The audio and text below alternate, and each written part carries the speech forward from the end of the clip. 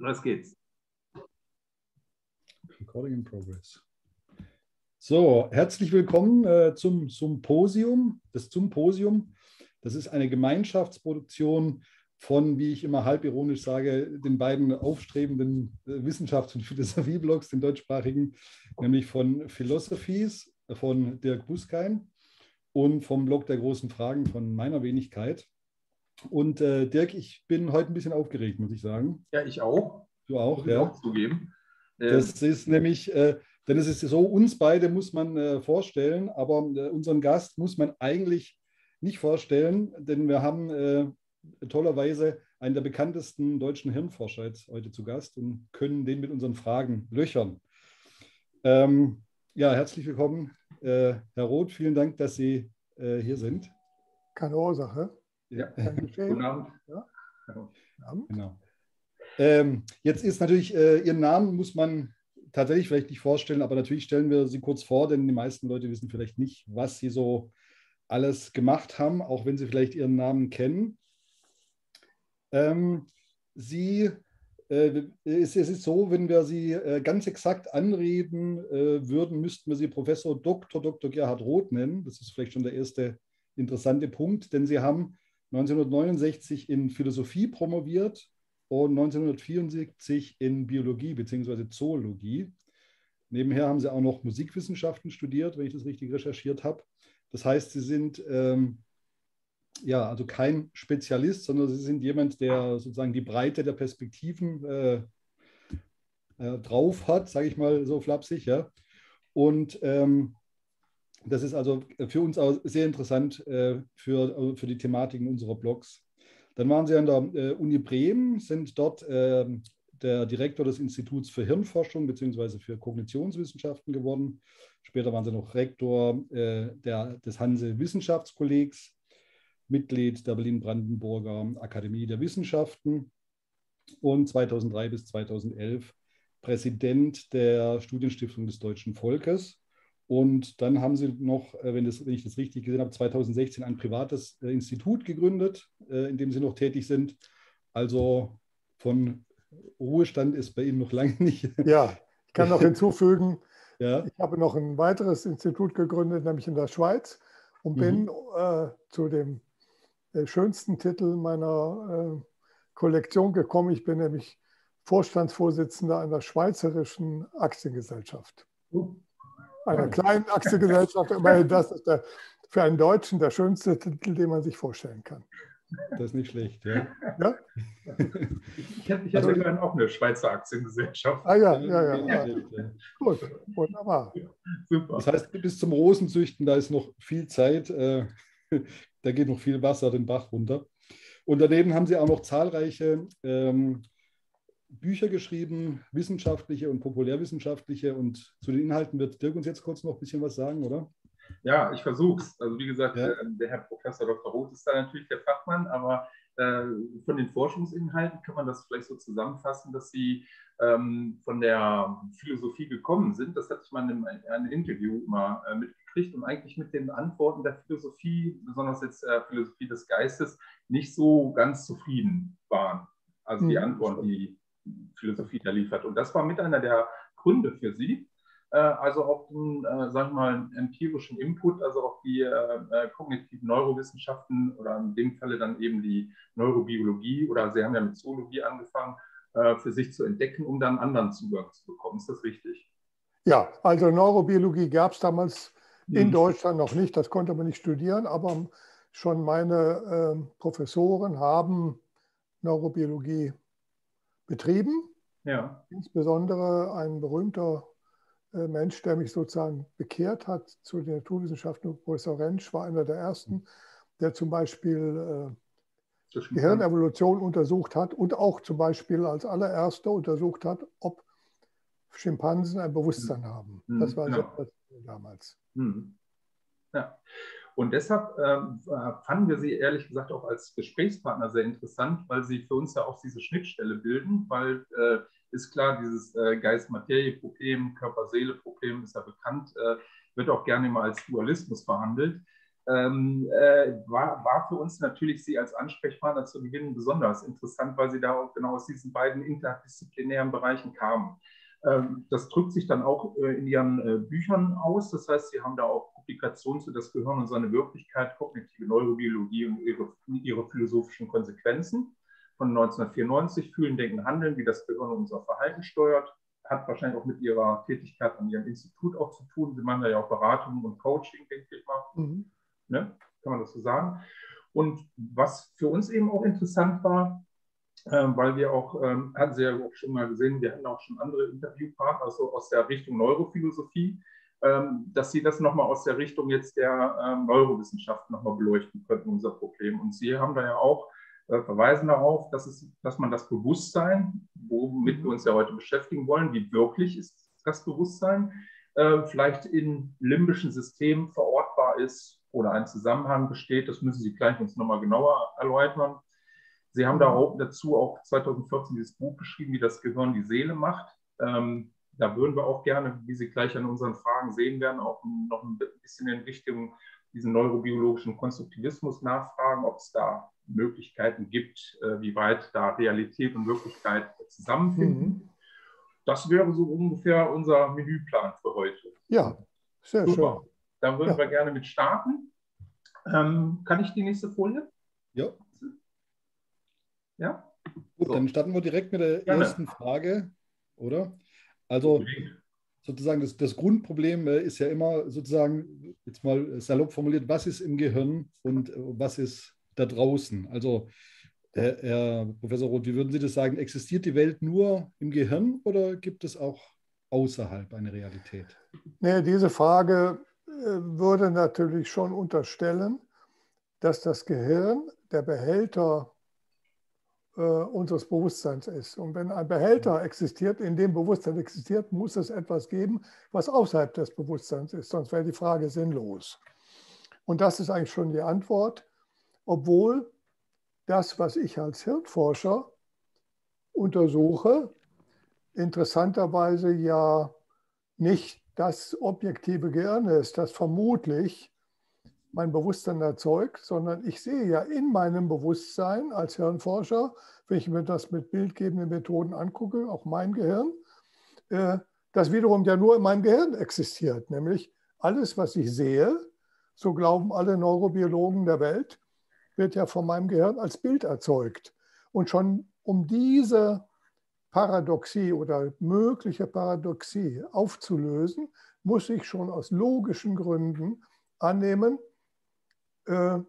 dass das Gehirn, was ich sehe als Hirnforscher, nicht das Gehirn ist, was mich, mein Bewusstsein herstellt. Nämlich dann würde ich gegen eine fundamentale Logik verstoßen, dass eine Teilmenge nicht die echte Menge hervorbringen kann. Das gilt als logisch ausgeschlossen. Das heißt, wir müssen als Wissenschaftler, obwohl wir es, darüber reden wir ja noch, äh, nicht wirklich beweisen können, wir müssen annehmen, damit unsere Forschung einen Sinn macht. Es gibt ein Gehirn, das von meinem Bewusstsein unabhängig existiert, in einer bewusstseinsmäßig unabhängigen Realität. Und in dieser Realität, dieses reale Gehirn, mein Bewusstsein und damit auch mich, wie ich mich dann selbst sehe, erzeugt. Das, diese Idee ist gar nicht neu, wurde vor 100 Jahre in einem berühmten Aufsatz von einem berühmten Psychologen, Wolfgang Köhler, schon so formuliert, nämlich unter dem Titel Die Lösung eines alten Scheinproblems. Man muss also, wie Kant das ja auch schon und viele andere diskutiert haben, man kann nicht erklären, dass das, was wir Bewusstsein nennen, gleichzeitig sich selbst hervorbringt. Das würde eine ganz andere Philosophie erzeugen, sondern man muss annehmen, Bewusstsein wird erzeugt von einer Entität, von der wir, wie Kant das meinte, erstmal nichts wissen können. Die Dinge an sich, zu der Problematik kommen wir vielleicht gleich noch. Und diese Dinge an sich, die erstellen auf irgendeine Weise, zu der auch Kant nichts sagen konnte, uns unser Bewusstsein her. Das ist ein Postulat, eine Denknotwendigkeit, aber wir können, auch das hat Kant schon gesagt, insofern bin ich auch Kantianer, begrenzten Maße. Wir können diesen Prozess nicht weiter untersuchen. Wir können eben nicht uns außerhalb unseres Bewusstseins stellen. Das ist auch logisch nicht möglich. Das wäre wie Fahrradfahren ohne Fahrrad. Das wäre Farbensehen eines Farbenblinden. Das geht nicht. Wir können über die Grenzen unseres Bewusstseins nicht hin, wirklich hinaussteigen. Wir können nur spekulieren, wie eine bewusstseinsunabhängige Welt aussehen könnte. Obwohl das natürlich dann immer die Frage, was dann Wissenschaft ist, berührt. Aber insofern ist das die Lösung, die einfach logisch erzwungen wird. Nämlich wenn ich sagen würde, es existiert außer dem Bewusstsein nichts, dann würde es ja auch nur für mein Bewusstsein gelten, nicht für Ihr Bewusstsein. Da wäre Ihr Bewusstsein ja auch nur wiederum, dann bin ich Solipsist und das ist schwierig, Solipsist zu sein, dass nichts existiert außer meinem Bewusstsein. Das wollen wir mal dahingestellt sein lassen. Das wäre nämlich auch meine äh, Frage gewesen, weil man da äh, doch eigentlich dann auch Gefahr läuft, wenn es tatsächlich so ist, wenn es äh, alles durch das Gehirn konstruiert wird, Gefahr läuft, in Solipsismus zu laufen, aber da, das können Sie immunisieren. Also dass man an der Stelle. Ja, also natürlich ist das nicht widerlegbar. Es haben ja auch berühmte Denker schon immer gesagt, man kann den Solipsismus nicht widerlegen, man kann ihn auch nicht bestätigen, hm. weil nämlich zu Belegen, also zur Evidenz wie auch Widerlegung, das notwendig wäre, äh, was unmöglich ist, nämlich sich außerhalb des eigenen Bewusstseins zu stellen. Mhm. Das widerspricht sich. Man kann nicht mit dem Bewusstsein das Unbewusste erkennen, auch übrigens ein fundamentaler Irrtum von Sigmund Freud. Mhm. Ne? Da finde ich auch so, so, systemtheoretische Ansätze, also dass man sagt, man kann nicht außerhalb des, des Systems stehen. Das, äh, kann man das so auch vergleichen? Oder? Ja, da gibt es verschiedene interessante Ansätze. Ein berühmter Ansatz ist einfach äh, die der Selbstreferenzialität mhm des menschlichen Gehirns, mhm. die, wenn man, auf die man auch kommt, wenn man sich das gerne mal scheinobjektiv anguckt. Das ist ein selbstreferenzielles System, das kann man auch belegen, dass eben nahezu alles in meiner Großhirnrinde, die irgendwie das Bewusstsein hervorbringt, äh, dieses Bewusstsein im Wesentlichen zu sich selber spricht. Also das Bewusstsein könnte niemals genau feststellen, was kommt von außen und was ist innen erzeugt, nämlich das Bewusstsein kann sich immer nur sich selbst erleben. Und das ist, ja, das andere geht auf den berühmten Logiker und Mathematiker Kurt Gödel zurück, mhm. der auch sagte, jede, jedes Aussagesystem in, ist in sich abgeschlossen. Mhm. Man kann die Gültigkeit eines Aussagesystems nicht in diesem System beweisen. Und das war mhm. einer der fundamentalsten Sätze der der Logik überhaupt in den letzten tausend Jahren. Mhm. Also die beiden Dinge nehmen wir mal, dass wir zwar logisch gezwungen werden, eine Verdopplung, wie man sagt, der einer objektiven Realität und in der eine subjektive Wirklichkeit entsteht über unser Gehirn, so nehmen wir an, aber dass wir das nicht niemals, um mit Gödel zu sprechen, nicht beweisen können, äh, auch nicht widerlegen können, weil wir nicht aus diesem System hinaustreten mhm. können. Insofern ist der Konstruktivismus, den ich jetzt vorsichtig nicht radikalen, sondern mhm. neurobiologischen Konstruktivismus nenne, ist der eigentlich auch von ganz anderen Geistesgrößen auch so abgesegnet. Mhm. Ist immer gut. Mhm. Äh, Sie hatten eben auch Kant äh, erwähnt, äh, aber ja. Kant macht ja auch dieses, dieses Ding an sich als Nomena. Ja, eben. unterscheidet das vom, vom Phänomena. Aber, ja, also, ja. Äh, ja, also die, schon zu Kants Zeiten ist ja, ist ja kritisiert worden, dass er zwei Dinge äh, völlig unzulänglich falsch sieht. Einmal, er spricht von der Existenz, der notwendigen Existenz der Nomina, der Welt der Dinge an sich, die aber auf irgendeine Weise äh, unsere äh, Wahrnehmungswelt affiziert, wie er sagt. Mhm. Aber da fragt man ja, wenn die Dinge an sich nicht erkennbar sind, woher weiß er dann, dass die Affizierung von denen kommt? Das hat man schon, kommt schon. Fichte oder irgendjemand hat das schon kritisiert. Das Zweite ist natürlich, dass er davon überzeugt war, dass die Kategorien äh, objektiv wahr sind. Und das ist erstens in sich nicht schlüssig. Er kann niemals beweisen und konnte auch damals nicht beweisen, dass die Kategorien logisch objektiv waren. Und heute hat sich herausgestellt, stimmt auch nicht. Nämlich Sie, Kurt Gödel, das war der Abgesang einer Glaubens an der Objektivität, an eine bestimmte Logik, nämlich jede Logik, so sagt Kurt Gödel, braucht eine höher gestellte Logik, um eine tiefere Logik äh, zu beweisen. Ne? Die mhm. Einwertige Logik wird durch eine mehrwertige Logik und die Prädikatenlogik erster Stufe wird durch eine Prädikatenlogik zweiter Stufe abgesichert. Das geht immer so weiter. Das nimmt so Kurt Gödel auch keine, kein Ende. Und das müssen wir so als Paradoxie anerkennen. Nur noch eine Frage noch dazu. Äh, äh, äh, aber man kann schon sagen, dass die Kognitionswissenschaften doch eigentlich auf der Phänomenerseite sind. Ne? Dass sie sich eigentlich für die Nomena, empirisch ist es ja problematisch, Nomena an der Stelle zu beweisen. Ja, natürlich. Das ist ja ist aber auch so ein Grundfehler oder ein Grundirrtum meiner Wissenschaft. Was man schön daran sieht, man nimmt so ein Lehrbuch, auf den ersten 700 Seiten steht drin, wie es im Gehirn zugeht. Ja, ganz objektiv, wissenschaftlich. Und dann kommt ein Kapitel über die Konstruktion des Bewusstseins im Gehirn, dass alles, was wir erleben, auch als Hirnforscher, nur ein Konstrukt unseres Gehirns ist. Da fragt man sich also, was für einen Status haben die, haben ja. die Aussagen der ersten sieben Kapitel?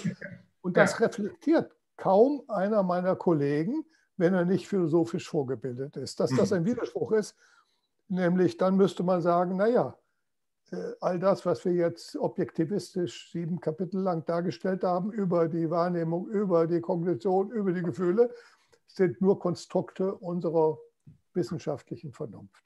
Aber da sehen Sie den Unterschied zwischen einem Fachmann, einem Neurowissenschaftler und einem philosophisch gebildeten Neurobiologen hm. und umgekehrt. Ne? Hm. Also für mich ist unverständlich, wie, wie ein Philosoph etwas über unsere Probleme aussagen könnte, der nicht gleichzeitig ein Neurowissenschaftler ist. Aber auch Neurowissenschaftler könnten nie die Problematik dessen, was sie machen, äh, einfach ausstreichen, so wie auch Heisenberg als Physiker, ich habe den gerade eben gelesen, auch immer mit reflektiert hat, unter welchen Bedingungen betreiben wir denn Physik? und sich der, der, des philosophischen Status dessen, was er als berühmter Physiker gemacht hat, immer klar war, auch Einstein übrigens. Ne? Das ist sehr bedenkenswert. Hm. Das Erkenntnissubjekt gehört mit zur ja. Beobachtung. Genau, genau. genau. Da hm. haben wir schon die Antwort auf Ihre Frage. Es muss die Bedingungen hm. äh, des Erkenntnisgewinns in einem Fach, die philosophischen Bedingungen oder erkenntnistheoretischen immer mitdenken. Also sollte jeder Wissenschaftler auch ein Philosophiestudium haben, sagen wir mal so. Und umgekehrt, ja. Und umgekehrt würde ich sagen.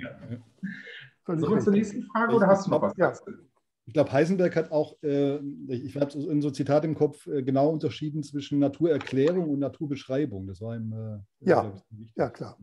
Ja, ja, genau. Das habe ich gerade gelesen. Ich bin auf ein dünnes Heftchen gestoßen von ihm und mit ähm, Aufsätzen in den 40er Jahren und das ist überwältigend, ja, wie klug er war, hat er das, die Unterschied gemacht. Mhm. Ja. ja. Super, gut. Dann hätten wir als nächste Frage, gucke ich auch noch mal gerade eben rein. Ähm, gibt es für Sie ein Hard Problem? Kennen Sie ja von David Chalmers äh, oder ein mhm. Explanatory Gap hinsichtlich der Konstitution von Bewusstsein? Ja, natürlich gibt es das. Also da soll man nicht drum herum reden.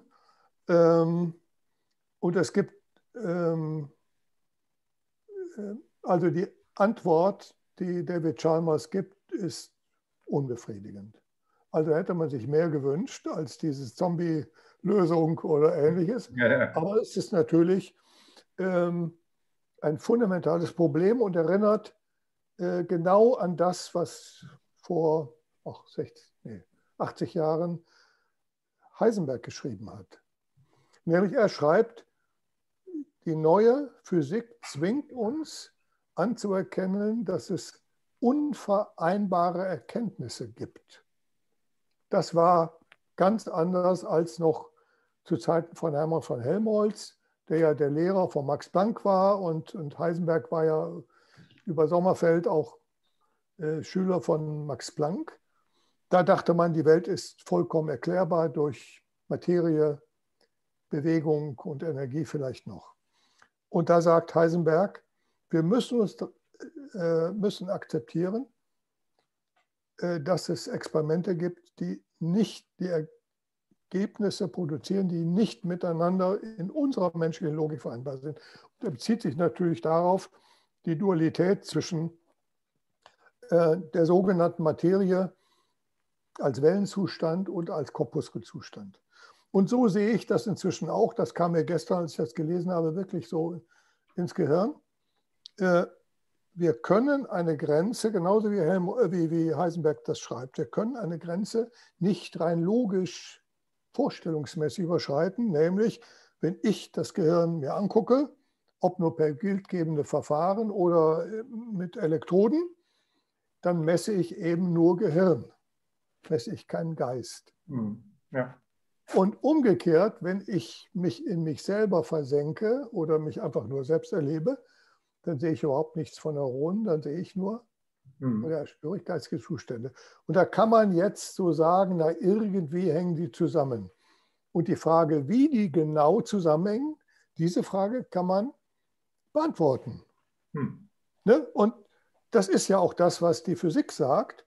Wir können eine äh, Quantenfeldtheorie entwickeln, die ja dann nach Heisenberg auch entwickelt wurde, wie wir das begreiflich machen können, dass wir, dass diese Dualität besteht.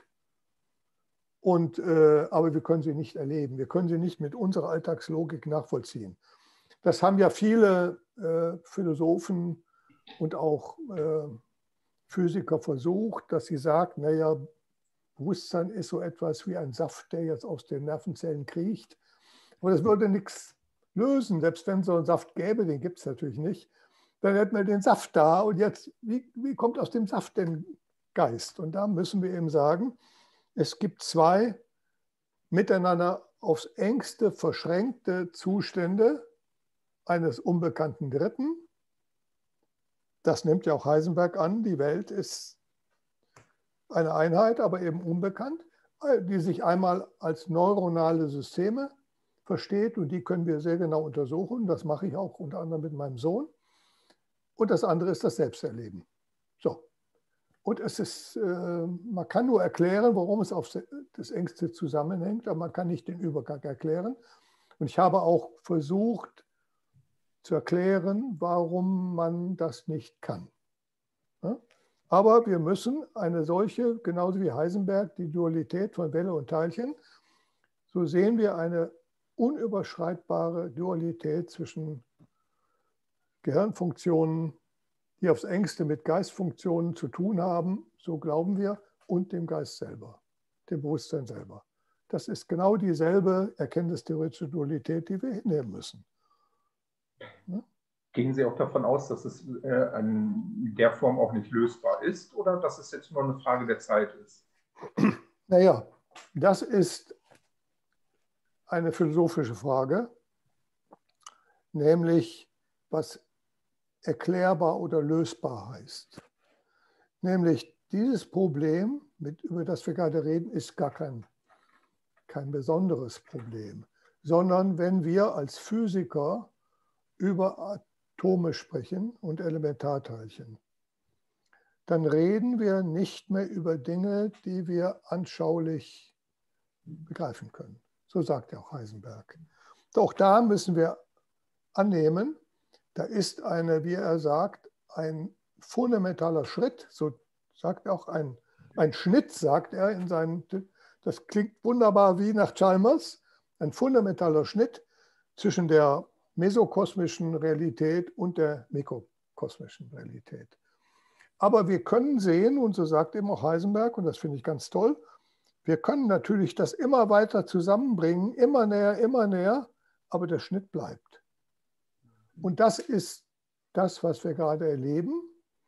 Wenn wir sagen würden, wenn ich vollständig, und vielleicht wird das gelingen, die notwendigen und hinreichenden neuronalen Prozesse für das Bewusstsein aufgeklärt haben. Könnte sein, weil es ja auch von höchstem Interesse ist für die Klinik, für, für Anästhesie und Narkosetechnik und so weiter.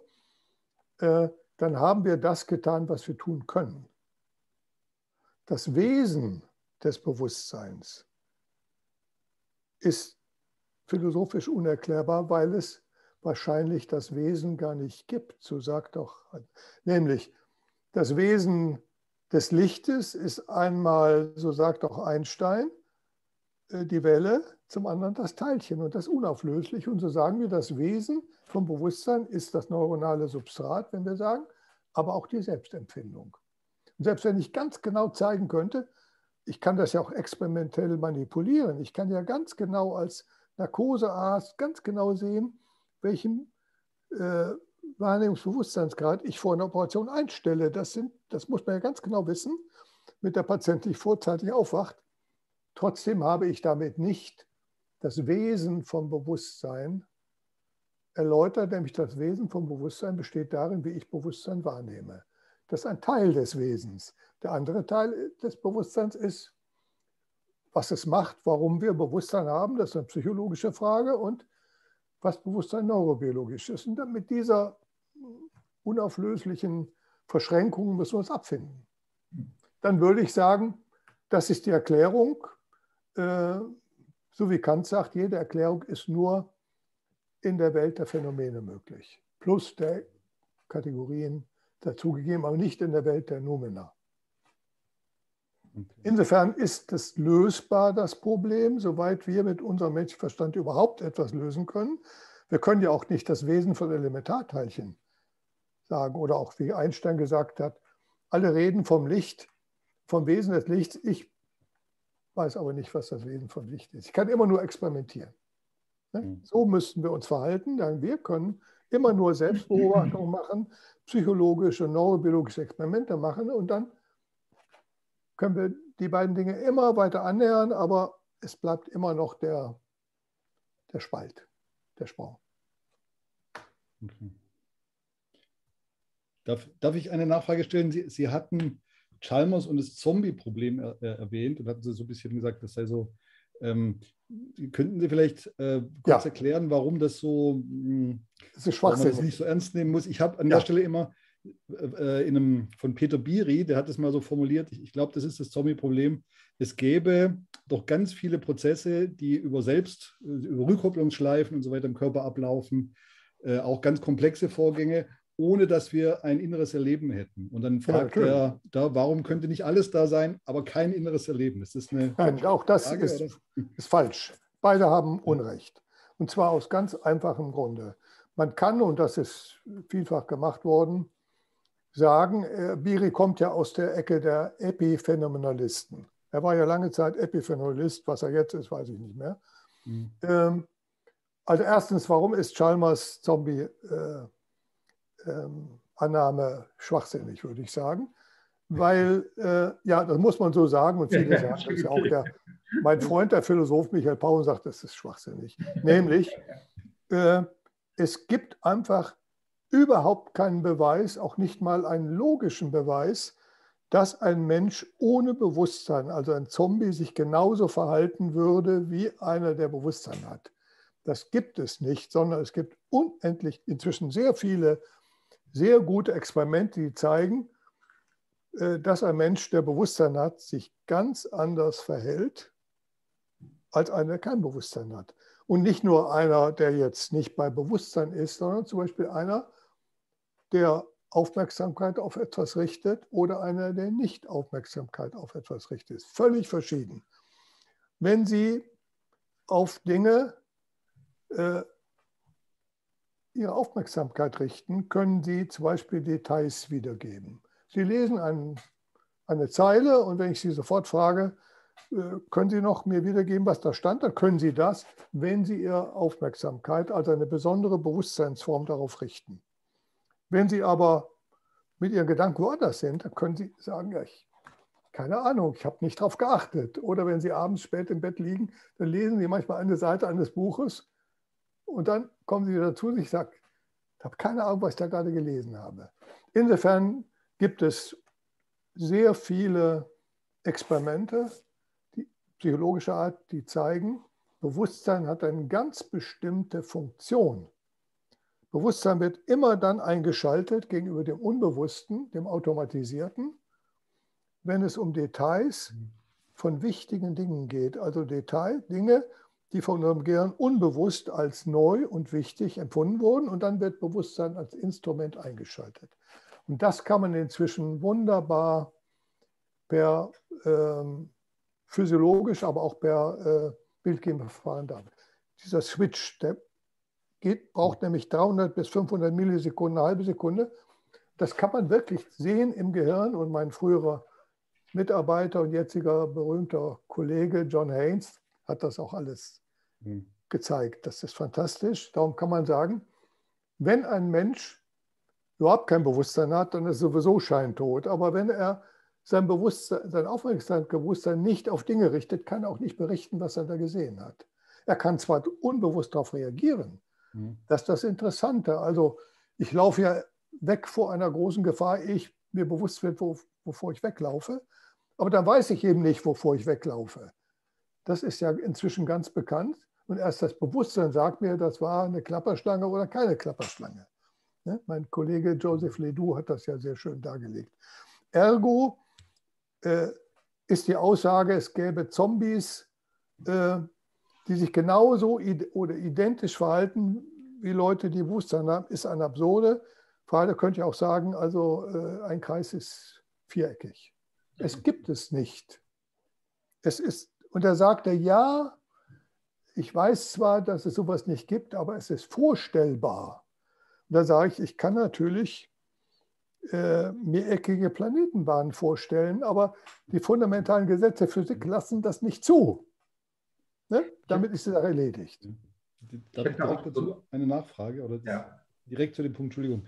Ja. Ähm, äh, ist das jetzt nicht so, dass jetzt, dass jetzt da der Begriff Bewusstsein da in zwei verschiedenen ähm, Kontexten gebraucht wird? Weil wenn ich, wenn ich es richtig verstanden habe, meinen Sie jetzt mit Bewusstsein äh, bestimmte Prozesse, die im Gehirn anspringen, äh, die dann dieses, dieses Bewusste, diese Kontrolle und alles und diese, diese Aufmerksamkeit äh, ermöglichen. Ja, das sind aber auch die Bewusstseinszustände. Die Frage ist doch, warum ist das mit dieser ja. mit der ersten Person-Perspektive so verknüpft? Würde ich ja gleich zu kommen. Ja? ja, okay. Also erst einmal, das ist aber genau das, was Chalmers auch meint und wo man sich in der Philosophie okay. des Geistes darauf geeinigt hat. Bewusstsein kommt in verschiedenen Formen. Ne? Zum Beispiel mhm. Bewusstheit als solche, ja. also Vigilanz oder Awareness als solche und dann eben Aufmerksamkeitsbewusstsein, Ich-Identität und so weiter. Und all das fasst man zusammen. Wenn man das nicht genau definiert, was ja schon seit Descartes so definiert wurde, ist ja sowieso Quatsch, darüber zu diskutieren. Also da kann man Herrn Chalmers sagen, Herr Chalmers, wenn Sie eben Bewusstsein so definieren als, als Zustand der Reflexion, als Aufmerksamkeit und so weiter, dann können wir fragen, ist es denn nur ein reines Epiphänomen? Könnte es auch weggelassen werden? Und die Antwort ist nein. Hm. Und rein theoretisch, ohne dass es den Fitzelchen an an empirischen Beweise gäbe oder auch fundamentalen Gesetzmäßigkeiten widersprechen, aber auch mal nicht zu diskutieren. Ob, ob Ellipsen auch Ecken haben könnte, ist, muss man nicht philosophisch hinterfragen. Ja. Darf ich da auch noch mal eine ähm, kurze Nachfrage noch, äh, weil wenn Sie das so erklären, dass das Gehirn, wenn man so will, der, die Schaltzentrale oder die Vermittlungsstelle zwischen Realität und Wirklichkeit ist, ähm, kann man das so sagen, dass äh, dann müsste ja eigentlich das andere Gedankenexperiment mit dem Brain in the Tank dann funktionieren. Dann müsste ja. Bitte mit nochmal. Das, äh, das, es gab ja ein anderes äh, Gedankenexperiment, wo man ja, ja. nicht einen Zombie, sondern andersrum einfach ein Brain in the Tank hat. Also einfach das, ja. das In-vitro-Gehirn, ja. wo man sagt, Körper brauche ich nicht. Die ganzen Funktionalitäten äh, sind eh über das Gehirn gesteuert, also ein genau. Neurozentrismus. Äh, die Umwelt ist egal, das Gehirn arbeitet dann von allein. Das würden Sie so auch sehen. Das ist ja insofern interessant, wenn man jetzt dran denkt, was KI-Vertreter alles sich vorstellen, dass wir überhaupt keine Umwelt mehr brauchen, sondern alles ist nur noch virtuell wird uns über Auge und, und, und Ohr und, und, und Haut oder so direkt im Gehirn eingegeben. Wozu brauche ich noch die Umwelt? Das ist eigentlich äh, möglich. Hm. In bestimmten Fällen ist das ja sogar. Äh, aber als Biologe muss man dann sagen, so ein Gehirn ist nun leider nicht überlebensfähig. Solche äh, Brain Tank oder Tank Brain Experimente sind ja gemacht worden. Und das Gehirn ist, soweit wir wissen, absolut auf einen Feedback aus der Umwelt angewiesen, sonst dreht es durch. Also ich kenne Leute oder kenne Experimente, wo das gemacht wurde und die Leute machen, da, äh, machen das eine Stunde lang mit und dann sie, fangen sie an, irre zu werden. Übrigens schon ziemlich alte Experimente. Also theoretisch ist das möglich, dass man die gesamte Umwelt simuliert, aber es ist biologisch nicht ratsam. Also im Gegensatz zu dem Argument von, von Chalmers ist das etwas, was durchaus möglich ist und ist ja auch die Gefahr der KI, mhm. dass Menschen immer mehr, auch in Science-Fiction-Romanen gibt es das ja alles schon, nur eine in einer virtuellen Welt leben. Aber es ist praktisch sehr gefährlich und auch noch nicht erreicht. Aber da bin ich vorsichtig, mhm. wie weit das gehen wird. Also das ist ein ganz anderes Kaliber an, mhm. äh, an Argumenten, mhm. auch für einen Neurobiologen da wollte ich gleich nochmal bei der nächsten Frage kommen, wenn ich zu den BCIs, zu den Brain-Computer Interfaces ja. äh, nochmal ja, eine Frage habe. Mhm. Äh, ich gucke gerade nochmal, äh, die nächste Frage wäre, ja, hatten wir eigentlich auch schon gerade thematisiert. Ähm, ähm, hatte Axel gerade schon angesprochen, ähm, die verschiedenen äh, Formen von Bewusstsein. Und ja. ähm, äh, wir würden jetzt gerne nochmal ganz speziell zu dieser ähm, Frage der ersten Personenperspektive, ja. also Selbstbewusstsein, Ich, mhm. Identität nochmal, dass Sie ja. da uns nochmal was zu sagen können. Klar. Also es gibt natürlich Bewusstsein ohne Ich-Identität. Einmal die Vigilanz, ich bin bei Trost, aber ich habe keine Ich-Identität. Und es gibt auch Ausfälle von Hirnzentren nach einem Schlaganfall, wo jemand gar nicht mehr weiß, wer er ist. Das ist neurologische, klinisch Alltag. Und ähm, es ist die interessante Frage, wie unsere Ich-Identität entsteht. Und da gibt es sehr viele interessante Studien, wie das kleine Kind ganz langsam eine Ich-Identität entwickelt. Das sind genetische Vorst äh, Prozesse, hirnorganische Prozesse. Aber wie mein Freund Wolfgang Prinz, der Psychologe, der gerade ein Buch darüber geschrieben hat, auch sagt, die Ich-Identität ist auch ein soziales Konstrukt, was wir aushandeln als Kleinkind mit unserer primären und dann sekundären sozialen Umgebung. Ohne eine solche soziale Interaktion würden wir niemals eine Ich-Identität entwickeln, jedenfalls nicht in der Form, wie wir sie kennen. Und es gibt ja durchaus Kulturen, in denen diese, diese Ich-Identität völlig fremd ist, äh, die dann auch schon vor 100 Jahren Levi Brühl, ein Ethnologe, dann fragte, ja, aber was ist denn deine Meinung? Und dann sagte, ja, die Meinung des Häuptlings ist so und so. Ja, aber was ist denn deine Meinung? Ja, die Meinung meiner Eltern ist so und so. Und er wusste gar nicht, was meine eigene Meinung war. Gut, all das ist erlernt, aber es gibt natürlich neurobiologische Grundlagen, so könnte man sagen, der Ich-Identität, die zum Beispiel äh, unabdingbar an das sensomotorische Feedback gekoppelt sind. Wenn ich nämlich sie nehmen würde und würde ihre Rückkopplung von ihrem Arm vereisen, die Nerven vereisen, dann würden sie plötzlich sagen, das ist nicht mehr mein Arm. Oder jedenfalls wären sie in Gefahr, das zu sagen. Der bewegt sich zwar, aber ich empfinde ihn nicht mal als Arm, weil die Impulse vom Gehirn zum Arm zwar erhalten sind, aber nicht die Rückkopplung. Du, liebes Gehirn, hast alles so gemacht, wie du gewünscht hast. Und das, das ist eine wesentliche Grundlage.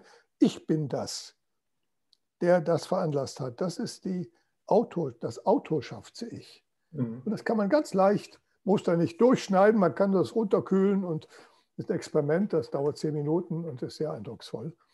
Und so ist es denn, es gibt neurobiologische Grundlagen der Identität, auch die äh, Zusammenführung, die multimodale Integration unserer Großhirnrinde neben dem und dann eben ganz besonders, da gebe ich Wolf, äh, Wolfgang Prinz sehr recht, es ist eine soziale, ein soziales Konstrukt. Ich werde von meinen Eltern als du äh, eingeredet mit einem Namen und daraus leitet, so sagen die Entwicklungspsychologen, das kleine Kind ab, ach, ich bin gemeint und ich bin dann so und ich wie meine Eltern. Von sich sagen ich. Und das ist sehr befriedigend der Ich-Zustand in seinen vielen Facetten ist ein Konstrukt unseres Gehirns, das aber massiv äh, mit Umwelteinflüssen verbunden ist. Das Gehirn ist ja sowieso überwiegend ein soziales Organ. Wir dürfen die Umwelt ja niemals bis auf primitive Prozesse draußen vorlassen. Dann würde ich auch gerne nochmal nachfragen, äh, würde das nicht auch dann in Richtung N-Aktivismus? ja, natürlich. War, ja, würden Sie sagen, ja, ja, klar. Ja, klar. Embeddedness, ja, ja, klar. Verkörperung Ist, ja, äh, ist, ja. Ist, ist, wichtig. Ja, das Gehirn ist ein Organ des Körpers. Okay. Und ohne den Körper wäre das Gehirn nichts, aber es ist nicht nur der Körper, es ist auch die Gesellschaft. Die Umwelt. Auch. Die Umwelt, ja. Mhm. Ja, gut, das ist unsere soziale Umwelt, aber mhm. natürlich die Biologie, die natürliche Umwelt. Es mhm. sind also einmal Entwicklungskräfte im Gehirn selber. Es muss ja die Befähigung dazu sein, in uns ein Ich zu entwickeln. Aber zu der Entwicklung gehört dieses Biofeedback. Es gehört die ertastete und ergriffene Umwelt und das gehört natürlich dann die natürliche soziale Umwelt. Und erst so werden wir Ich-Träger. Und es ist auch so, wenn wir das in unserer Kultur nicht wären, wäre auch unsere Gesellschaft nicht so, wie sie ist. Wenn ich nicht angesprochen würde als, als Ich-Bürger, als Selbstdenkender. Mhm. Die Neurophilosophie hat ja dann ihren Schwerpunkt ja noch auf diese Korrelation, dass sie diese Korrelation zwischen Gehirn, Umwelt, Gehirn, Körper auch nochmal näher untersucht. Aber so weit würden Sie nicht gehen. Doch, also inzwischen weiß man ja sehr genau, welche Teile in unserem Gehirn, besonders natürlich in unserer Großhirnrinde als Bewusstsein, direkt von unserem Körper und von unserer Umwelt beeinflusst werden. Das ist ja das ganz Wesentliche, was wir als primäre Sozialisation beschreiben. Wir haben, oder ein Kleinkind hat rudimentäre Gefühle, die sind da, aber die Ausdifferenzierung der Gefühle ist ein Vorgang der Prägung durch die primäre Umwelt. Also deshalb haben wir auch sehr ähnliche Vorstellungen und Gefühle wie unsere Eltern oder normalerweise. Also man darf niemals, wenn man nach dem Wesen des Menschen fragt, äh, das Gehirn vom Körper und von der Umwelt trennen. Das ist eine Einheit. Okay. Hm? Ja, Finde ich gut. Hätte ich jetzt nicht so erwartet, ja. sagen wir so. Nein, aber meine, das ist das Interessante, dass all das, was Philosophen und Psychologen immer schon postuliert haben, dass die Hirnforschung das genau belegen kann in diesem Sinne. Hm. Ähm, kann man nicht eh auch so sagen, dass das also äh, so ein gegenseitiges, ähm, ja, ähm, ich sag mal, befruchten, also so als Joint Venture ist, dass also der, die, äh, so eine Concept-Fact-Iterativity, ja, dass die, ne, das ist so gegenseitig da. Ja, natürlich. Also egal, welche Leute äh, die Hirnforschung verdammen oder Hirnforscher die Philosophie verdammen, ja. äh, das ist fruchtlos. Sondern mhm. die Einsichten, die wir heute haben, jetzt nicht auf der Einzelzellebene, aber doch auf der Ebene des neurobiologisch fundierten Menschenbildes, ist nur möglich, wenn ich hier neben der Hirnforschung natürlich die Psychologie sehe, aber auch die Soziologie in dem Sinne, dass sie die Gesellschaft und ihre Einflüsse beschreibt. Es hm. ist, wie kann ich über Empathie reden, über Empathiezentren im Gehirn, wenn ich mir nicht ein Philosoph und ein, ein Psychologe erklärt, was Empathie denn überhaupt ist. Und das ist ja nicht im Gehirn, sondern das Gehirn sorgt dafür, dass ich in den Augen des Philosophen, des, des Psychologen empathisch agiere. Das hm. steckt ja nicht in den Hirnwindungen, sondern die Hirnwindungen oder die Neuronetze, die da sind, die erlauben mir, ein empathisches Verhalten auszuführen oder mich empathisch zu fühlen. Das ist sozusagen der Sprung in die andere Richtung, in die Richtung der Selbstempfindung, in, in Sprung in, die, in das eigene Verhalten. Hm. Aber dieser Paradigmenwechsel hat sich gerade so in diesen Anglo, äh, angloamerikanischen Cognitive Neuroscience noch nicht so richtig rumgesprochen. Ne? Also Ach doch. doch, also doch, doch. Also im Gegensatz zu Deutschland würde ich sagen, wenn ich jetzt ein Standard-Psychologie-Lehrbuch äh, von Myers zum Beispiel Psychology nehme, gibt es ja auch in Deutschland als Basisbuch, dann ist die Hälfte dieses über 1000 Seiten langen Buches reine Neurobiologie. Hm.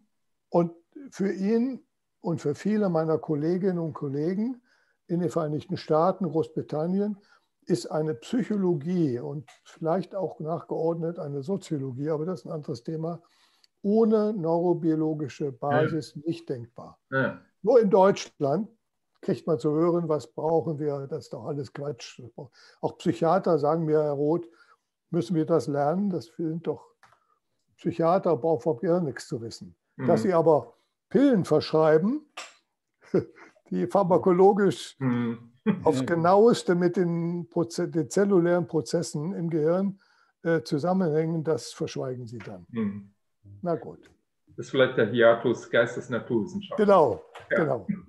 Der aber in den angelsächsischen Ländern eigentlich verschwunden ist. Ja, ja. Aber in Deutschland noch äh, Urstein feiert. Ja, hm.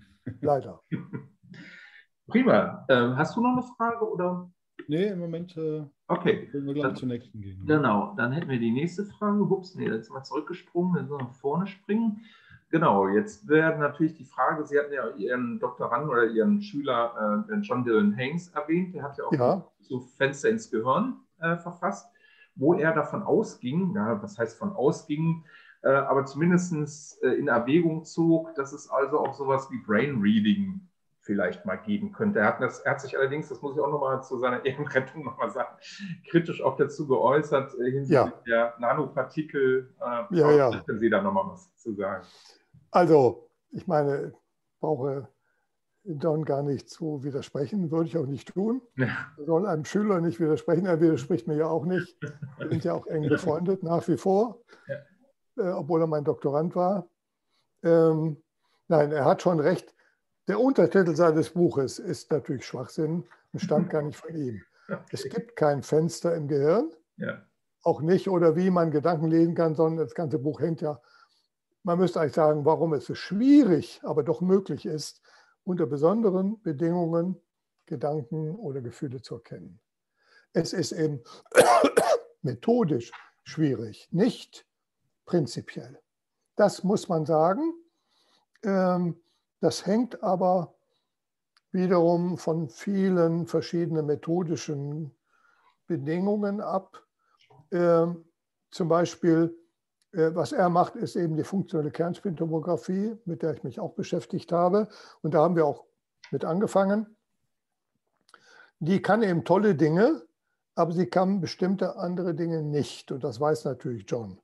Umgekehrt, was ich jetzt zusammen mit meinem Sohn, mein Sohn ist auch Neurophysiologe an der Universität in Oslo, wir untersuchen jetzt auf dem zellulären Niveau genau die Bedingungen, die sehr vermutlich mit dem Entstehen von Bewusstsein zu tun haben. Mhm. Ne, das ist also wirklich an der einzelnen Zelle und an wenigen Zellen. Da hat man festgestellt, das geht auf äh, Vorstellung unter anderem auf meinen Freund und Kollegen Wolf Singer zurück. Die Idee, dass da bestimmte äh, Prozesse in der Großhirnrinde stattfinden müssen, Oszillationen und Synchronisationen. Und nach allem, was wir jetzt noch wissen, was wir jetzt wissen, ist das so ganz nah am Bewusstsein und würde auch mit der Gestaltpsychologie und ähnlichen Dingen sehr gut übereinstimmen. Aber das ist jetzt wieder der Dualismus, obwohl er nur ein methodischer Dualismus ist. Ich kann auf der Ebene der funktionellen Kernspintomographie niemals die Auflösung erreichen, um zu sehen, wie kommen denn diese Erregungsfelder die John misst, zustande. Weil das, was er an geringster Auflösung hat, ist ein sogenannter Voxel, also ein Volumenpixel von einer Million Nervenzellen. Und man kann auch nicht mal sagen, was diese Zellen wirklich tun. Ob sie zum Beispiel erregend sind oder hemmend sind, kann man so nicht hm. sehen. Hm. Und das ist natürlich absolut essentiell. Man weiß nicht, welcher Neurotransmitter das ist. Man sieht nur Erregungen oder Hemmungen oder Abstufungen. Umgekehrt kann ich bei meinen Ableitungen der einzelnen Zelle oder mein Sohn niemals sagen, was das jetzt bedeutet. Aber wir können zum Beispiel feststellen, das was ja auch Wolf Singer und äh, einer seiner Schüler, mein Bremer Kollege Andreas Kreiter macht, zeigen, wenn immer wir im, beim Tier oder beim Menschen Bewusstsein, Aufmerksamkeitszustände sehen, das kann man ja verhaltensmäßig überprüfen oder kognitiv überprüfen, dann treten im Gehirn diese Oszillationen und Synchronisationen auf. Und da kann man immer noch fragen, gibt es noch andere Faktoren? Und da kann ich sagen, natürlich, aber das sind wohl diese zellulären Schwingungsprozesse, sind wohl die, die am aller, aller spezifischsten mit Bewusstsein zu tun haben. Aber ich sehe natürlich kein Bewusstsein ja. immer bei meinen Ableitungen. Das wiederum sind wir wieder bei diesem Dualismus. Mhm. Mhm. Ähm, ist, ist, damit dieses Cross-Frequency-Coupling gemeint, also dass diese verschiedenen äh, äh, Kurven oder Oszillationen irgendwann mal zu so einer Synchronisation kommen? Ja, ja, ja mhm. ganz natürlich. Also es gibt so einen gewissen Streit zwischen, oder gab, der überwunden ist zwischen der Singerschule und zwischen einer anderen Schule, der ich angehöre, aber da geht es nur um Feinheiten. In Wirklichkeit geht es darum, ein Netzwerk zu verstehen, das aus erregenden und vielen erregenden und wenigen hemmenden sogenannten Interneuronen besteht und die interagieren nun in bestimmten Frequenzbändern. Das sind mhm. diese Gamma-Frequenzen, die Hochfrequenten, die wir untersuchen, mhm. mein Sohn und ich. Und da gibt es die Alpha-Zellen, in der, die Pyramidenzellen, die schwingen langsamer und die steuern sich gegenseitig und verhaken sich, so ganz einfach gesprochen. Mhm. Und das ist so Niemand hat etwas anderes gefunden, obwohl meine Kollegen und wir da wirklich ziemlich alles untersuchen, was man auf zellulärer Ebene untersuchen kann, mit mhm. verschiedenen Techniken. Mhm. Also das ist sehr erstaunlich, dass hier so eine unglaubliche Konvergenz zwischen dem psychologischen Befund, mhm. jetzt sagt äh, ein Mensch, in Afrika kann das nicht so sagen, aber kann Zeichen machen, Jetzt sehe ich das oder er reagiert, jetzt scheint da was auf zwischen der Kernspintomographie, das kann man ja simultan machen, und dem zellulären Geschehen. Und das ist atemberaubend. Hm. Insofern kann man im Prinzip schon Gedanken lesen. Nur die Auflösung und besonders was John Haynes gefunden hat, wenn einer einen komplexen Gedanken hat, ist das über das ganze Gehirn verteilt. Mhm. Und es ist aus den Detailgründen nicht gut zu lesen. Bräuchte man an der Stelle sowas wie so einen Laplace'schen Dämon, der also äh, quasi jeden Dendrit, jedes Neuron äh, in seiner Aktivität aufnehmen würde und äh, ja. sagt, äh, ja, Neuronale der wird, sich aber, der wird sich totrechnen. Ja. Aber immerhin hat John Haynes das ja mit seinen englischen Kollegen dahingehend gelöst, dass er KI darauf anwendet hm. und tausendmal also sagt eine Person, jetzt denkt man an deine Oma mhm. und äh, jetzt setzt man diese, diesen Algorithmus daran und tausendmal, jetzt denke ich an meine Oma, denke ich an meine Oma und der Algorithmus lernt und irgendwann hat er ein Muster, das sich von dem Muster unterscheidet, wenn ich an meinen Opa denke. Das geht.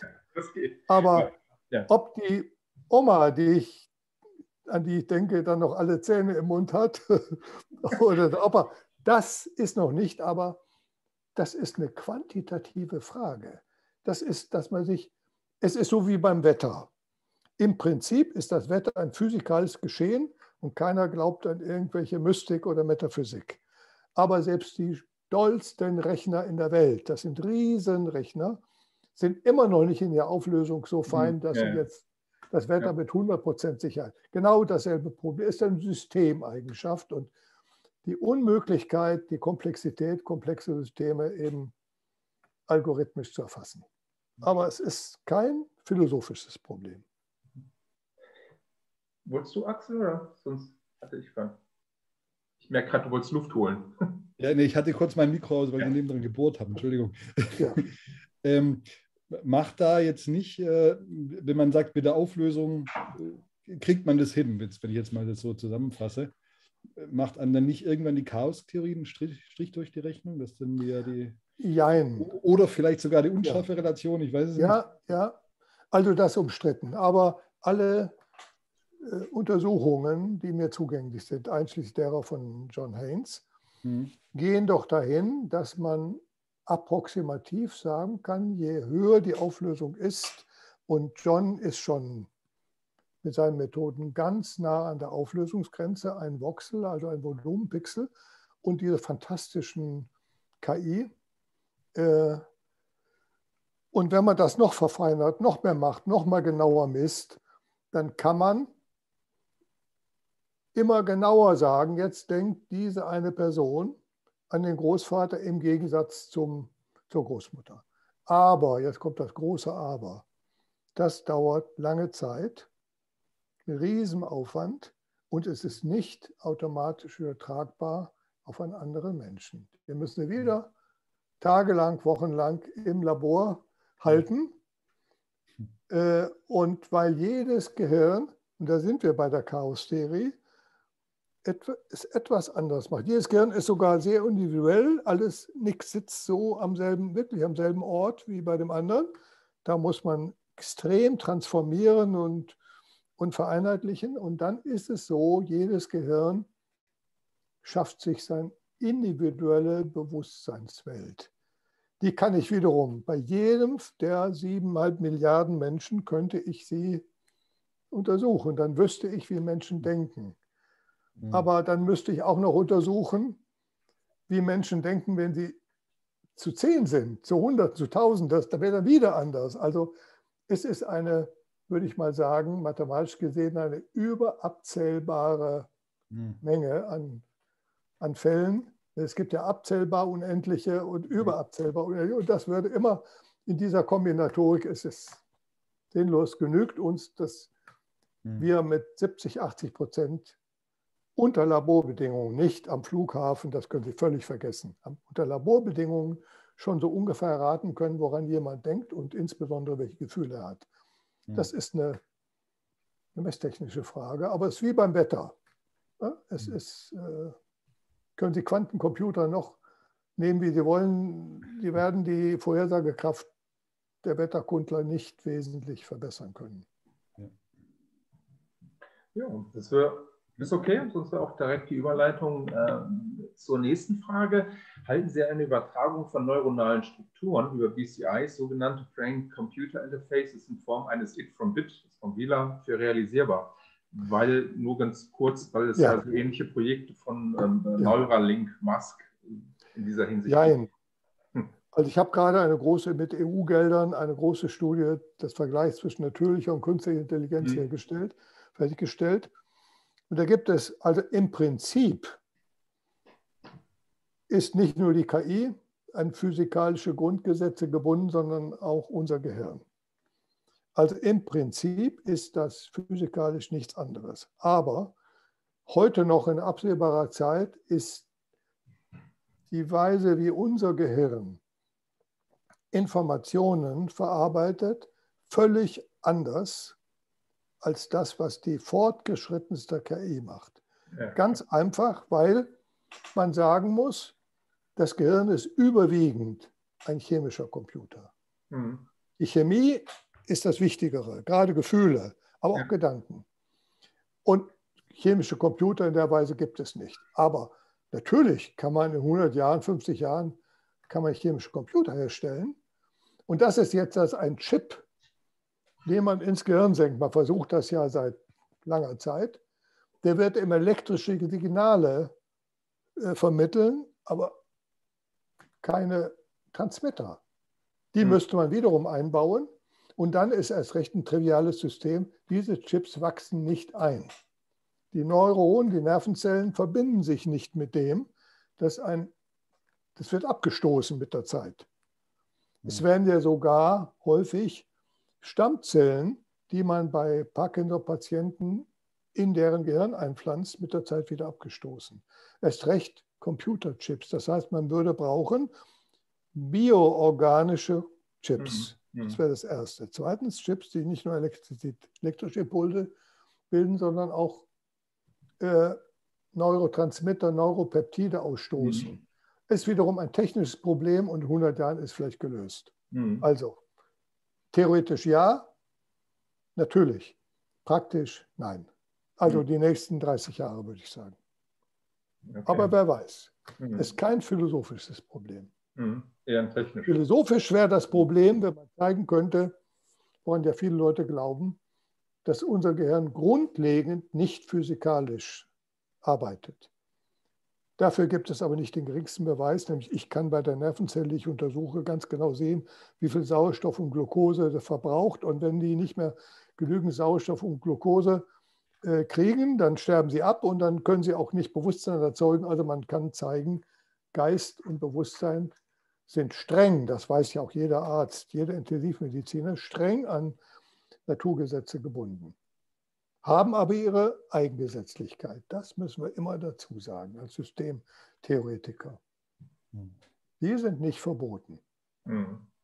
Würden Sie das so in so ein Bild bringen, dass man sagen kann, die Computeranalogie äh, kann man auf das Gehirn übertragen im Sinne des Funktionalismus und man setzt einfach on top noch Emergenz? Oder ist das, würde das weit Gut, das sind natürlich, sagen wir jetzt, philosophische Worte, die man jetzt übersetzen müsste. Mhm. Also wenn es heißt, ähm, Bewusstsein ist ein emergentes Phänomen, was ja häufig gesagt wird, dann ist das keine Erklärung, sondern außer der Tatsache, aus einem System, was man physikalisch beschreiben kann, mhm. entsteht etwas, was man erstmal nicht physikalisch beschreiben kann, nur psychologisch. Mhm. Aber dieses emergente System ist nicht völlig emergent, sondern unterliegt auch wieder physikalischen Gesetzen. Mhm. Also ist eine schwache Emergenz, philosophisch gesagt. Mhm. Das ist klar. Und äh, es gibt da keinen Sprung, sondern man kann zeigen, Tiere sind, äh, meine Frau und ich haben das untersucht und viele andere auch, umso intelligenter, je mehr sie Cortexartige, also Großhirnrinden, ähnliche Strukturen haben, die genau das leisten, was wir vorhin besch äh, beschrieben haben, nämlich solche Frequenzmodulationen mhm. und, und, und Frequenzmuster erzeugen. Ist das mit das beste Beispiel dafür, dass hier kein Hiatus, keine Fulguration und keinen mhm. ontologischen Sprung gibt. Mhm. Sonst wäre das nicht erklärbar. Dürfte man auch so weit gehen, das als Monismus zu bezeichnen, wenn Sie das so erklären, oder ist das, ja. würde es zu weit gehen? ich mag, ja, also ich wür, würde nicht sagen Monismus, nämlich das würde ja unterstellen, dass wir die Dualität überwunden haben. Hm. Dann würden wir sagen, es ist ein dualistischer Monismus. Da sind wir genauso klug wie vorher. Wir hm. kommen über die Dualität nicht hinaus, die aber nicht nur in der Hirnforschung ist, sondern auch in der Physik. Wir müssen uns daran gewöhnen, dass wir bestimmte Dinge nicht verstandesmäßig, auch logisch nicht nachvollziehen können, dass aber die Experimente uns zwingen, das anzuerkennen. Insofern gibt es eine Einheit der Phänomene bei aller Anerkennung der Vielfalt. Wir reden ja auch von einer Quantenlogik, die von der mesokosmischen Logik zum Teil fundamental verschieden ist, zum Beispiel, dass ein und dasselbe Ding verschiedene Zustände annehmen kann. Das ist in der mesokosmischen Welt nicht möglich. Kann man das auch als Unterbestimmtheit durch Evidenz, könnte man das auch? Ja, natürlich. Ja, also kein Mensch kann erklären, warum dieser, wie dieser Welle-Teilchen-Dualismus zustande kommt. Das hm. ist einfach so.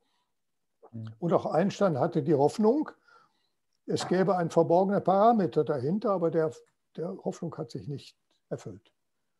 Da ist eher Heisenberg und, und hat eher Heisenberg recht gehabt.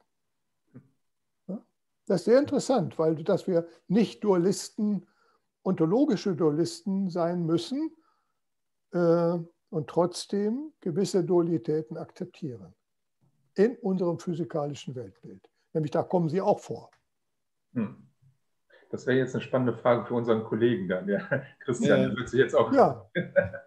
Müssen wir beim nächsten Mal. ja. Sag mal, äh, nächste Frage. Ist okay oder hast du noch was? Nee, ich glaube, wäre okay. Okay, dann ja. wärst du, glaube ich, jetzt, guck gerade, genau. Jetzt wärst du nochmal. Genau. Also, ähm, da geht es jetzt ein bisschen um, das Thema auch noch äh, Willensfreiheit. Ich habe dir dieses äh, Zitat, äh, das habe ich mal gelesen, als ich äh, damals ihr Buch gelesen habe und das hat mich ist, glaube ich, auch sehr bekannt. Das hat mich sehr beeindruckt. Also da ähm, haben Sie, oder ich glaube, es war, Sie haben, den, glaube ich, den Begriff aufgegriffen von jemandem, wenn ich es richtig weiß, das bewusste Ich als Regierungssprecher bezeichnet, der Dinge interpretieren und legitimieren muss, von deren Gründe und Hintergründe, er, äh, die er gar nicht kennt. Ja, ähm, ist das, das ist die ultimative Kränkung. Ja, ja genau. Wie würde man das sehen? Ja, es geht natürlich auf Sigmund Freud zurück, der von diesen Kränkungen spricht, aber ist eigentlich noch älter. Und das ist immer wieder gesagt worden, es stimmt ja nur zum Teil.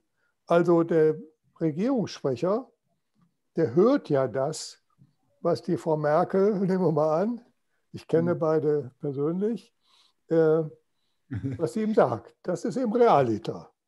Aber sofern sie ihm das nicht erzählt, sie könnte ja auch lügen, kann er keine Ahnung haben, wenn er nicht am Kabinettstisch saß, was er ja manchmal tut, äh, was da vor sich gegangen ist. Frau Merkel könnte ja behaupten, und manche äh, solcher Politiker sagen das ja, also das Kabinett beschlossen das und das. Und dann gibt er das wieder. Er war nicht dabei, aber wenn da ein Minister sagt, das ist eine Lüge von Frau Merkel, also einfach nur als Beispiel, die lügt mhm. ja bekanntlich niemals. Aber er könnte es behaupten, das ist so nicht beschlossen werden soll im Kabinett, ist was ganz anderes beschlossen wird. Ja, also jetzt angewandt auf unser Gehirn, es ist ein Faktum, ein triviales Faktum, fast trivial, dass wir die allergrößten, allermeisten Prozesse in unserem Gehirn, die für uns verhaltenswichtig sind, aber auch für unsere Persönlichkeit wichtig sind, nicht bewusst erleben können. Wir können nur bestimmte Teile von Prozessen bewusst erleben in unserer Großhirnrinde. Dort auch nicht alles, so bestimmte Teile. Und man kann das auch sehr schön mit Bildmethoden darstellen, wenn man nämlich eine Wahrnehmung so kurz darbietet, dass sie nicht bewusst wahrgenommen wird, sozusagen maskiert. Dann sieht man, dass bestimmte Erregungen der sensorischen Systeme, auch der kognitiven Systeme angestellt werden. Und jetzt macht man das länger und dann wird es bewusst. Und dann sieht man, dass die Hirnaktivität sich unglaublich aufbreitert und das ist der Effekt des Bewusstseins. Es wird sehr viel mehr an neuronale Aktivität der Großhirnrinde hinzugeschaltet und das ist der wunderbarste Beweis dessen, was ich vorhin sagte. Wenn Bewusstsein nötig ist, weil es wichtig und detailreich sein muss, dann wird eben dieser Regierungssprecher hinzugeschaltet. Aber normalerweise und trivialerweise können wir das Unbewusste nicht bewusst machen. Nämlich das Unbewusste, was zum Beispiel im Mandelkern in der Amygdala vor sich geht, hat nun mal keine Bilder, keine Töne, keine Worte, nichts. Das sind neuronale Netzwerke, wie wichtig sie auch sind für das Entstehen unserer Gefühle. Sie ist das notwendige Substrat, unter anderem die Amygdala, aber sie selbst hat keine Gefühle, sondern die induziert das Entstehen von Gefühlen in unserer Großhirnrinde. Die Amygdala selber empfinden wir gar nicht. Und wenn ich zeigen kann, bei Ihnen, wenn ich ganz kurz so ein Bild zeige, maskiert, dann sehe ich, der Amygdala von Ihnen reagiert. Wenn ich Sie aber frage, haben Sie da jetzt irgendwas Furchtbares gesehen? Nee, habe ich nicht. Aber Sie würden wenn ich das mehrfach zeige, erschrecken und wüssten gar nicht warum. Das ist das, es tut sich etwas in ihrem Gehirn, das unbewusst ist, was aus bestimmten Gründen nicht bewusst wurde, was ihr Verhalten induziert, aber wovon sie keine Ahnung haben, wie das zustande kommt. Das, das ist der Regierungssprecher, der was verkündet, mein Bewusstsein von Dingen, die er aber gar nicht erlebt hat. Er war ja nicht am Kabinettstisch. Er redet so, wie er sich das zurechtgelegt hat. Und, und wie wäre das in diesem Bild mit, dem, mit der Rückwirkung vom Bewusstsein? Also der Regierungssprecher, haben Sie gesagt, der entscheidet ja nichts. Also jetzt ja, da kommen zwei Dinge. Wenn man so will. Ja, der, der da kommen zwei Dinge zum äh, Durcheinander. Das eine ist, Bewusstsein als solches hat natürlich extreme Folgen. Das sagten wir vorhin, dass ein von Bewusstsein gelenktes Verhalten ganz anderer Natur ist als ein völlig automatisiertes Verhalten. Ne? Mhm. Also sie rennen weg, wenn ihre Amygdala irgendwas sieht, was in ihrer Meinung eine Klapperschlange wäre. Sie rennen weg, bevor sie wissen, bevor sie wegrennen. Berühmtes Beispiel. Wenn sie genauer hingucken, sich umdrehen, sagen, ach, das war eine Blindschleiche. So, diese Erkenntnis ist vielleicht sehr wichtig. Nämlich, wenn Ihnen das immer wieder passiert, denken Sie, aha, hier kommen sehr wahrscheinlich keine Klapperschlangen vor oder keine Kreuzottern, sondern Blindschleichen. Oder Sie gucken jetzt, nicht hinter jedem Baum, jedem Strauch sitzt ein Fuchs. Und deshalb muss ich ganz genau gucken, mit Bewusstsein als Hase, Hasen haben auch Bewusstsein, mhm. hinter welchen Sträuchern könnte der Fuchs sitzen. Das ist lebenswichtig. Was anderes ist ein Teil des Bewusstseins, den wir rationales Bewusstsein nennen. Das ist ein Regierungssprecher, mhm. der nichts bewirkt, nämlich das rein rationale Bewusstsein ohne Emotionen bewirkt überhaupt nichts. Das kann man auch rein neuroanatomisch sehen von diesem rationalen Instanz mhm. in unserem Gehirn. Wird zwar das Reden gelenkt, aber nicht unser Tun. Und das erklärt eine Grundeinsicht menschlichen Verhaltens. Es ist ein Unterschied, wie Menschen reden und was Menschen tun. Das sind zwei große verschiedene Dinge. Predigen Wasser und trinken den Wein. Ja. So, das ist neurobiologisch ganz einfach erklärbar. Nämlich da sitzt das unbewusst und sagt dem Bischof, der gerade über das Wasser gepredigt hat, Mensch, heute Abend hast du den schönen Rotwein verdient. Und er greift den Rotwein. Oder er begibt sich zu bestimmten Personen, die er gerade genau. vorher. Hm, genau. Ja, das ist menschlich und ist nur erklär zu erklären, dass äh, das Reden und das Bewusstsein alleine, ich will jetzt tugendhaft sein, überhaupt nicht klare Anweisungen gibt, was dann so ein Mensch tut. Hm? Das heißt, wenn ich das nochmal zusammenfassen darf, dieser Regierungssprechervergleich, der bezieht sich auf einen Teilaspekt des Bewusstseins. Ja, genau. Ne? Ja, also ja. wir müssen sagen, der Regierungssprecher ist hm. wichtig. Auch mhm. Bewusstsein ist wichtig. Nämlich, äh, wenn ich Sie frage, Sie tun irgendetwas, natürlich ganz Wichtiges. Und wenn ich Sie sage, ja, warum haben Sie denn das getan? Und Sie sagen, ja, weiß ich auch nicht. Offensichtlich hat mein Bewusstsein mich dazu getrieben. Das gilt als nicht statthaft, obwohl es vielleicht wahr ist. Ja, ja. Sie unterliegen dem Zwang der Erklärung. Mhm. Müssen sagen, also dieser wütende Brief an Frau Merkel geht äh, auf die, die, die Details der Erfahrung zurück und das akzeptieren wir dann. Also der Mensch, den verstehe ich. Aber das muss überhaupt nicht stimmen, sondern Sie können sich über Ihre Schwiegermutter geärgert haben und schreiben jetzt einen wütenden Brief an Frau Merkel als Ersatzobjekt. Und das könnte Ihnen ein Psychiater, Psychotherapeut, Hirnforscher nachweisen. Aber der Regierungssprecher muss ja die Politik von Frau Merkel oder von sonst wem erklären. Mhm. Die, ja, ja. Der kann doch nicht sagen, ja, Frau Merkel und das Kabinett hat was beschlossen, ich habe keine Ahnung warum. Da braucht man keinen Regierungssprecher. Ja, Sie sehen Sie, also das muss man begreifen. Es ist, Bewusstsein ist kein Epiphänomen. Bewusstsein ist ein ganz wichtiges mhm. Phänomen und auch Sozi Erklärungen haben eine sehr wichtige soziale Funktion. Mhm. Kann ich einfach aufstehen und sagen, ich verrate euch nicht. Oder der Herr Spahn. Der kann ja das eine heute, das andere morgen erzählen, aber er muss irgendwas erzählen. Ja. Sehen Sie? Ja? Sonst, ja, da, da sagt, ich kann euch nicht erklären, warum ich das jetzt so nicht verhalte, das ist sozial nicht akzeptabel. Okay. Okay, gut. Das, dann, haben wir, dann haben wir den Punkt äh, geklärt. Das war jetzt sehr interessant. Ja. ja. Dann, dann, kommen wir zur letzten Frage, oder? Ja. Ja.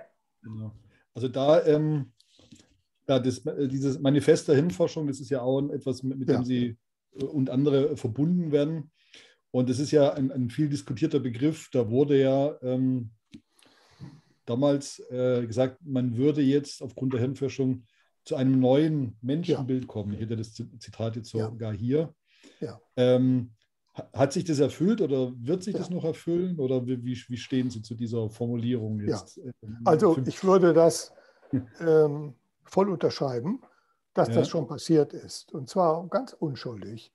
Ich habe auch ein Buch geschrieben, was ich vor, was vor einem halben Jahr rausgekommen ist und was sich äh, großer Beliebtheit inzwischen erfreut in der vierten oder fünften Auflage schon. Das heißt eben über den Menschen und hat als Tenor die Frage, gibt es ein neues Menschenbild?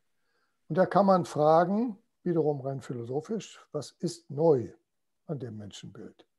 Da kann man sagen, ja, bestimmte griechische Philosophen äh, und Herr Schopenhauer und vorher David Hume, den ich sehr verehre, haben das alles schon gesagt. Stimmt auch zum großen Teil.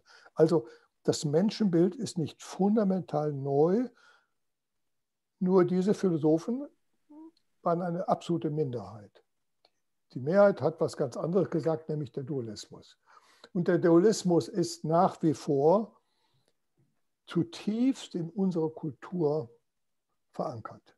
in tragischer Weise, das sehen wir jetzt, äh, wo man feststellen muss, wie fremd den meisten Menschen in der Corona-Pandemie naturwissenschaftliches Denken ist. Es, ja. Wir haben kein naturwissenschaftlich gut fundiertes Menschbild. In keiner Weise. Und selbst wenn Frau Merkel, die ich ansonsten mag, sagt, ja, bei einer bestimmten Gelegenheit, da können wir nur beten, dann mag sie als Pfarrerstochter das sagen, aber es ist als Physikerin undenkbar. Also wenn irgendein Attentat, ein Amoklauf passiert, kann man nicht sagen, können wir nur beten. Das ist einfach die mhm. falsche Schublade, die sie aufgemacht hat, warum auch immer sie gesagt hat. Und äh, in erschreckendem Maße, ich musste mich da, weil ich vor ein paar Tagen ein Interview beim Spiegel äh, abgeliefert oder gemacht habe, ist die Frage, wie kommt es, dass immer noch äh, 20 Millionen der Menschen nicht geimpft sind? Vielleicht die Hälfte davon aus prinzipiellen Gründen, weil sie, das kam ja heute in Nachrichten, nicht nur durch rechtsradikales Denken in der damaligen DDR, sondern auch im Süden unserer Republik. Da wurde gesagt, das sind eben die äh, Esoteriker in Baden-Württemberg, die Hochburg der Esoterik, weil immerhin ein Viertel unserer Gesellschaft mindestens mit einem naturwissenschaftlich fundierten Menschbild nichts anfangen können. Und weil sie das auch in der Schule nicht genügend vermittelt bekommen. Insofern muss man jetzt sagen, das, was Hirnforscher behaupten, auch in dem Manifest, war nicht völlig neu. Extrem kluge Menschen haben immer schon so gedacht. Und David Hume und Schopenhauer und Schrödinger und bis in die Gegenwart haben das schon geahnt, auch wenn sie es vielleicht nicht mit Hirnforschungsmethoden belegen konnten. Es ist aber völlig neu oder ziemlich neu, weil wir konstatieren können, unsere deutsche Gesellschaft ist nicht kompatibel mit einem empirisch naturwissenschaftlich fundierten Menschenbild. Das ist sie nicht. Und das kann man zutiefst bedauern. Das wird man erstmal nicht ändern, wenn man nicht die gesamte Ausbildung der Kinder und der Jugendlichen ändert. Und das geht bis in die verrücktesten Dinge, die ich auch jetzt noch erlebe, wenn ich sage, wenn ich mit Philosophen, was ich heute tue, heute, häufig heutzutage tue, sage ich aber, was sie da, äh, wovon sie ausgehen, dass wir eben mit Willensfreiheit eben auch rein geistig ohne das Gehirn bestimmte Dinge tun können.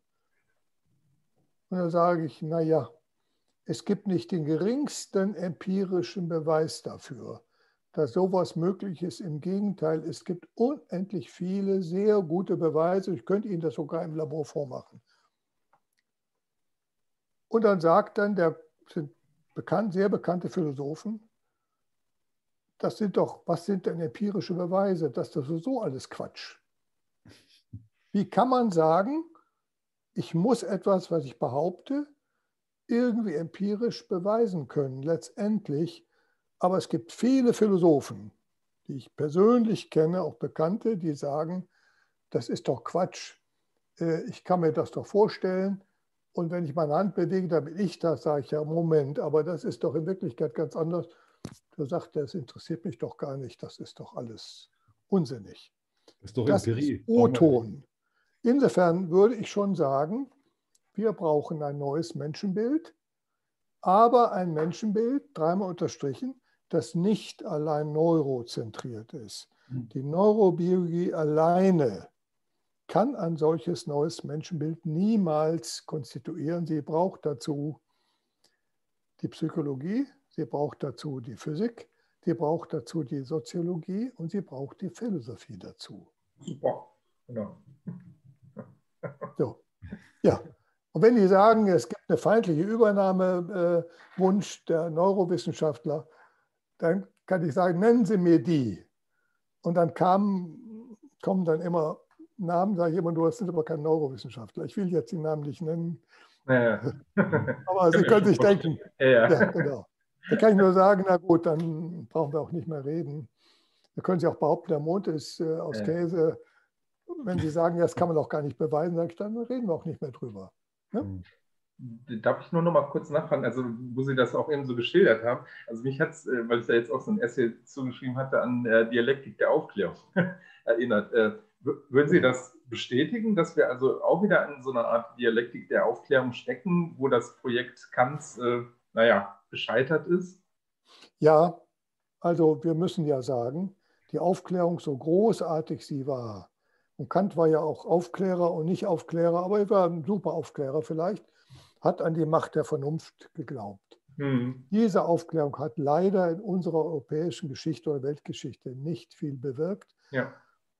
Es waren die aufgeklärtesten Herrscher, Friedrich II. von Preußen, die die größten Machtpolitiken gemacht haben. Ähm, nicht so weniger gibt es vielleicht einen Fortschritt, dass wir seit 70 oder 80 Jahren nicht mehr hier in Mitteleuropa im Krieg leben, mag eventuell an der Aufklärung liegen.